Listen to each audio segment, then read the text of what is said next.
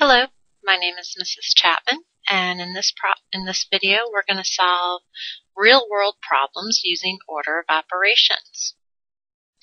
I have a word problem here. The first thing I'm going to do is read the word problem. A bath and body store sells lotions for $5, candles for $7, and lip balms for $2. Write an expression for the total cost of three lotions and four lip balms then find the total cost. The first thing I'm going to do, they ask and actually asking me to do two things. The first thing is to write an expression. The second thing they want me to do is to find the total cost. I'm going to solve this problem by organizing my information and using a table. Now notice I'm going to get out my highlighter and they want us to write an expression for the total cost of three lotions and four lip balms. So I have lotions and lip balms.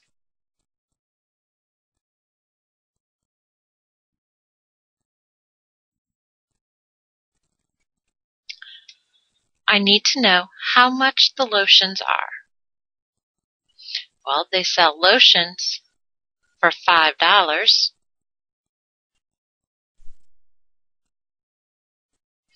And they sell lip balms for $2.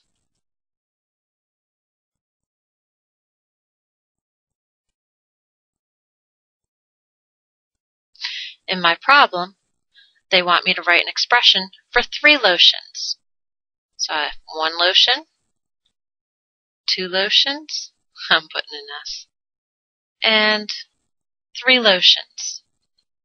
And we have four lip balms.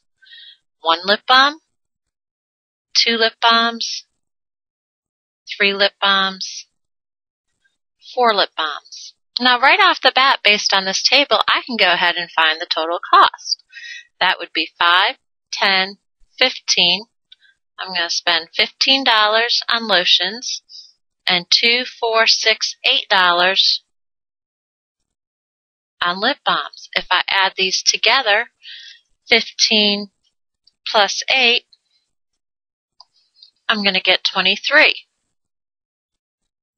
So I'm going to spend a total of $23. Great. I have my total I have my answer. So I'm done. No, you're only going to get half the problem right. The reason being is because there's two questions here.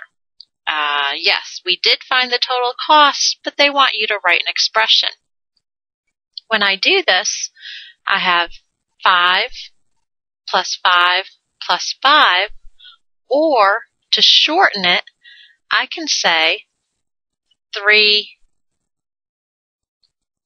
times 5, which will give me the 15, plus I have 1, 2, 3, 4 times the $2, which will give me the 8, and I'm going to add the 15 first, and then I'm going to add the 8, and then once I get these answers,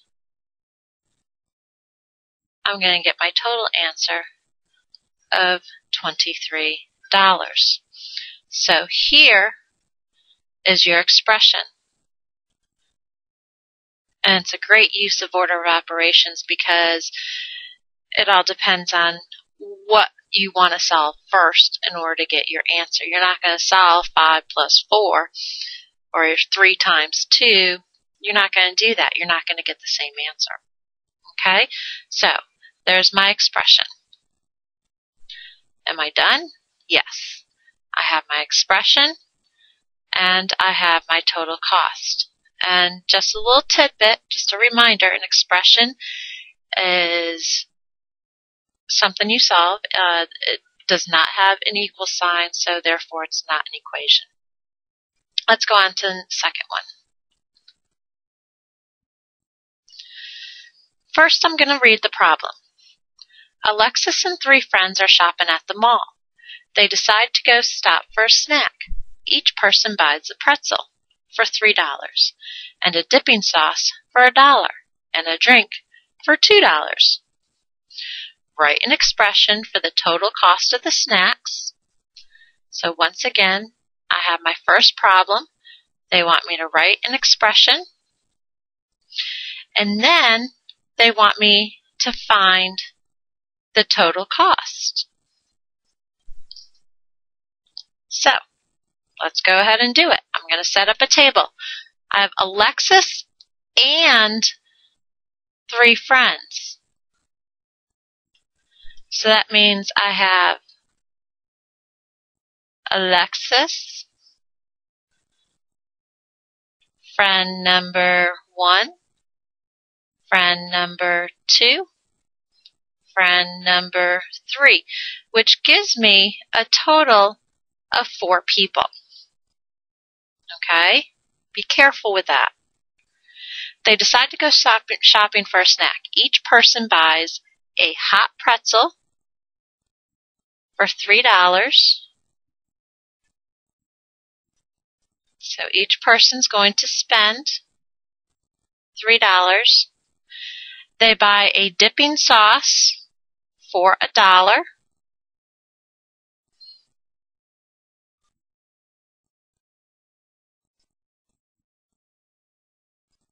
and a drink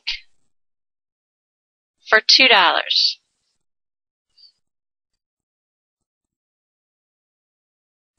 There's a couple different ways I can do this.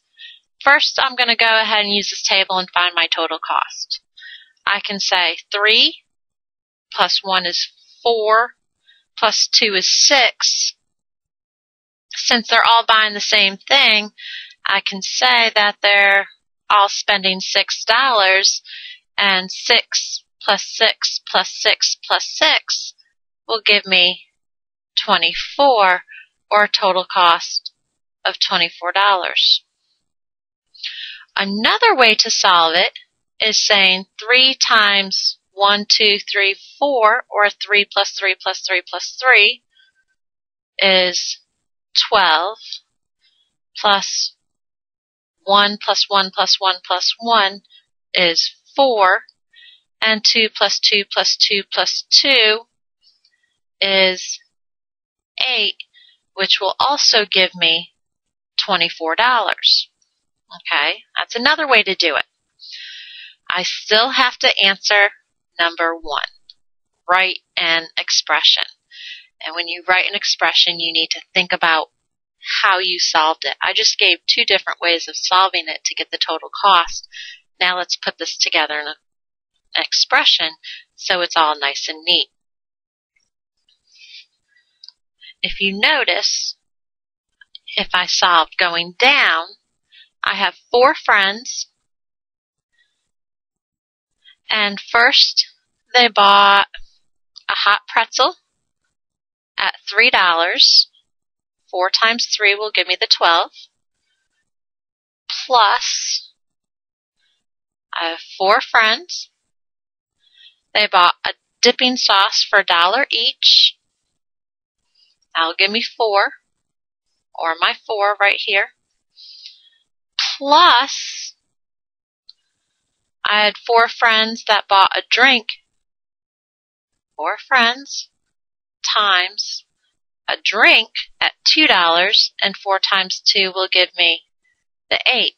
And I put these in parentheses because here's my pretzel, my dipping sauce, and my drink. Notice I don't have to put an equation because it's not an equation. They asked me to write an expression. And there I go. I'm going to multiply each one by 4. And the order of operations come in this section because you want to solve how much are they spending on a pretzel, how much are they spending on a dipping sauce, and how much are they spending on a drink. Thank you for watching.